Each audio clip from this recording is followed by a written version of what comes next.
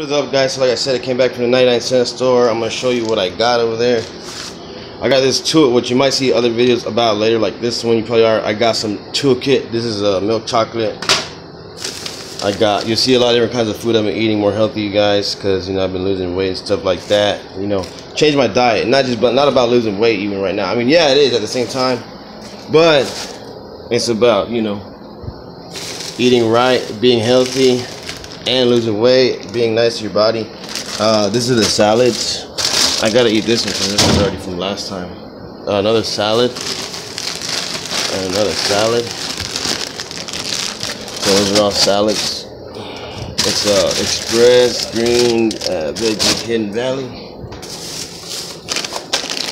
I got, uh, let me just show, I'll put them away later. I got the pasta, Dr. Fresh, Dr. Fresh, man.